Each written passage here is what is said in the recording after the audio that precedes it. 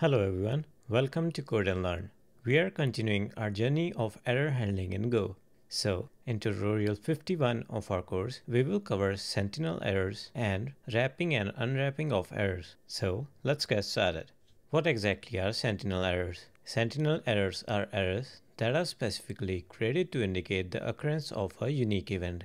These errors help handle certain errors in a particular way. For instance, in a delete API endpoint, if no required information is found to be deleted, we simply return a success response, which means the request was successful. But how would you know if no record is found? Sentinel errors are exported package level variables, thus part of the public API for the package, which means that they need to be maintained along with other parts of the code. So I just gave you an example of a delete API endpoint and how would you know if the record was not found in the DB. One of the example of such an error is from the standard lib database SQL package var error no rows equal to SQL no rows in the result set which is exported from the standard SQL package.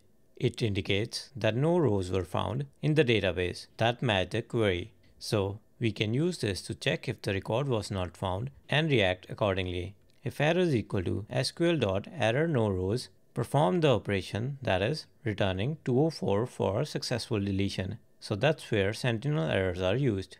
Now let's discuss error wrapping. Sometimes additional information or context is needed to be added to an error without creating a custom error. In such cases, you can wrap the error with additional information. According to Go documentation, an error E wraps another error if each type has one of the following methods unwrap which returns error or unwrap which returns a slice of error. One of the very common terminology used in error handling is error chain. An error chain refers to a series of errors that are wrapped together. It is also called the error tree. So let's now go deeper into error wrapping. In the previous lesson, we saw that you can create errors with fmt error wrap function. The same function can be used to wrap errors.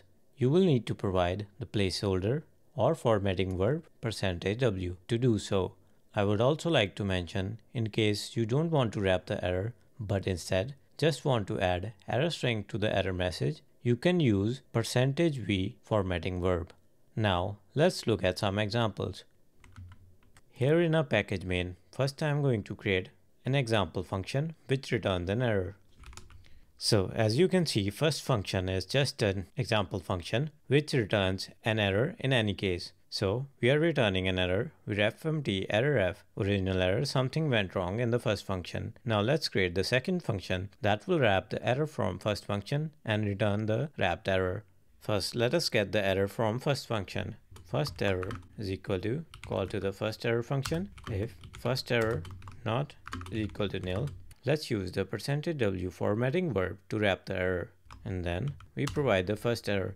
So this is essentially how we would wrap errors. If there's no error, return nil. Let's now call the second function in our main and let's print the error to see what we get. So here I'm just calling the second function and printing the error. Let's run our program to verify what happens. Go run main.go and as you can see, the error was indeed wrapped. This is the string from the second function. I just need to update it to say second function. And this is the string from first function. Let's try again and see. So failed in second function. The original or the wrapped error is something went wrong in the first function. So that's how you would wrap errors in Go. Now there's another way of wrapping errors. Errors.join function was introduced in the errors package.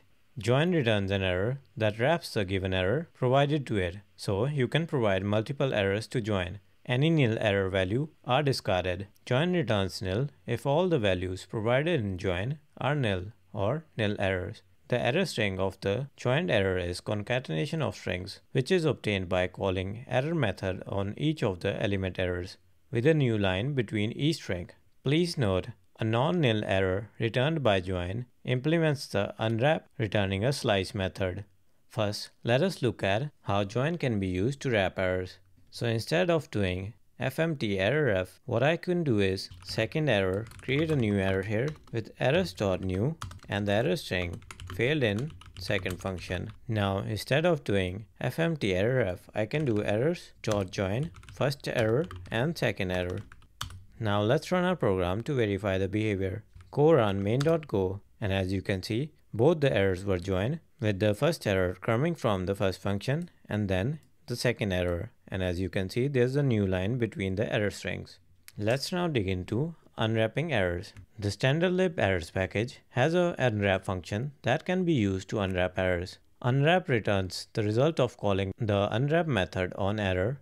If errors type contains the unwrap method, returning error. Otherwise, unwrap will return nil. The fmt error wrap function created an error that implemented the unwrap method.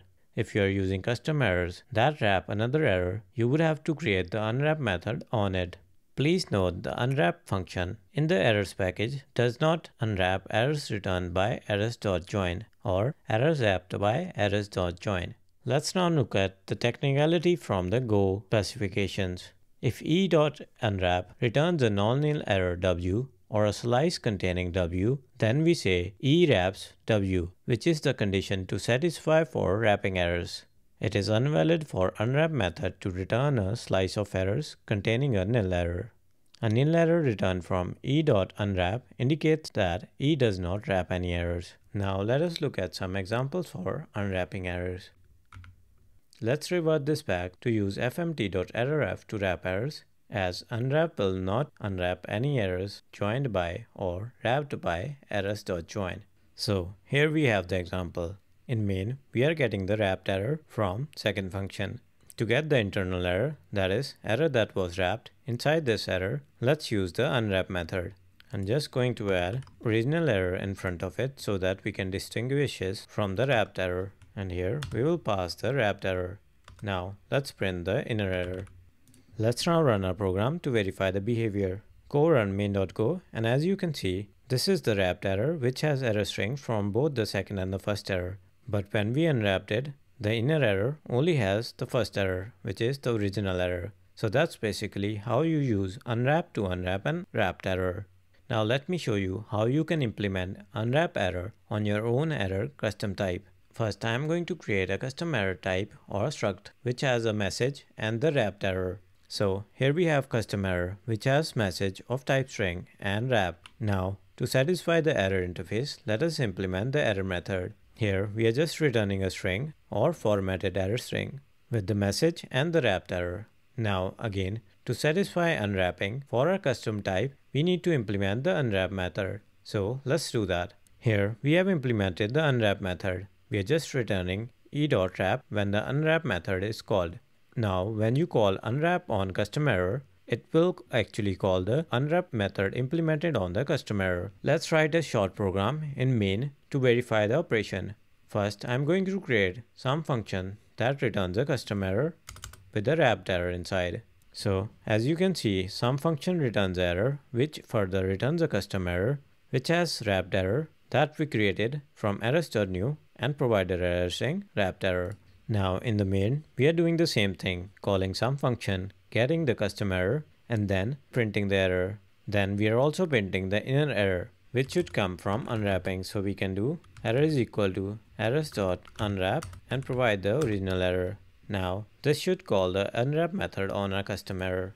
Let's run our program to verify the behavior again. And as you can see, we were able to get the wrapped error by calling the unwrap function on error which further call the unwrap method on the custom error function. So this is basically how you can implement your own unwrap method. Some of the concepts could be confusing, but if you try it yourself and read the documentation, which I will provide in the description, you should be able to make sense of it. Let's now summarize everything we have learned in this lesson. First, we looked at sentinel errors, which indicate the occurrence of special event in code for the caller to react to. Then we looked at error wrapping with FMT errorf and errors.join. We also looked at how unwrapping works. Please note that the unwrap function is rarely used as it cannot tell you if sentinel error is present in the error chain. Instead, we use errors.is and errors.as functions from the error standardlib package. We will look at it in the next lesson. I hope you enjoyed the lesson. If you have any questions, please post a comment under the video or reach out to our Discord server. Until next time, happy coding!